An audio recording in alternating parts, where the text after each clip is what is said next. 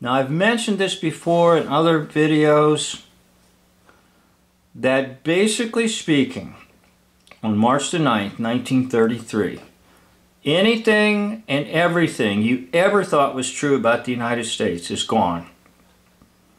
Why is that? Because a valid form of government went under by the bankruptcy of the valid United States. It was declared bankrupt and hence a state of emergency was declared.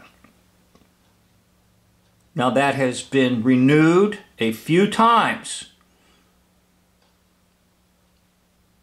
Now, what does this mean? It means that there is no valid government as you understand it. Okay? Well, what rules or who rules? Military rule. Now, you know, all these folks are worried about military rule. Guess what? We've been under military rule since 1933. Now, many people don't believe this and they don't really understand it, but it does tie into the hinged flag sort of thing too. When you go into courtrooms and different places like that, it's a military flag with the with the with the hinges on it, with the with the uh, flanges, the hinges. Okay, there's a difference between a U.S. flag and a military U.S. flag. And that's what's being flown in your uh, government centers, in your administrative centers, and in your court system. So ultimately speaking, because valid government went under due to bankruptcy, you um, have a system of invalid government. Now on my channel War Backwards is Raw. You can find the very first video I ever did called The 80 Year War Cycle. Now there are three cycles, a war cycle, a constitution cycle, and a corporation cycle. And these three cycles work together a lot like an old watch with the gears in a watch. Okay, they're like three different gears all tied together as a mechanism.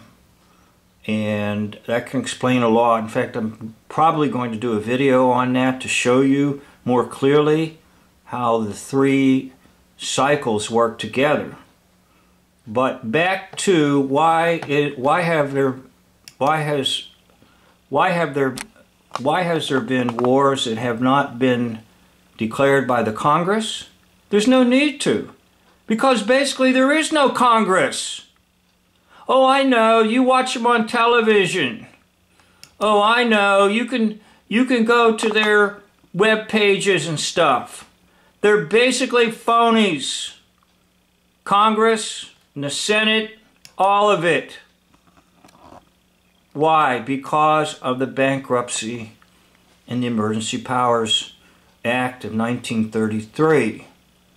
Now that's why there's never been a need to declare a war after World War II. In fact, World War II could have gone undeclared, but they were still hoaxing the public by having what people thought was a valid Congress a valid Senate, even a valid president, when it's all been a scam from day one, going all the way back in American history to none other than Georgia Washington, who's really just the image of King George III.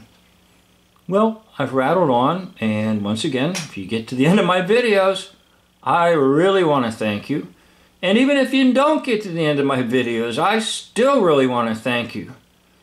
This concludes the video.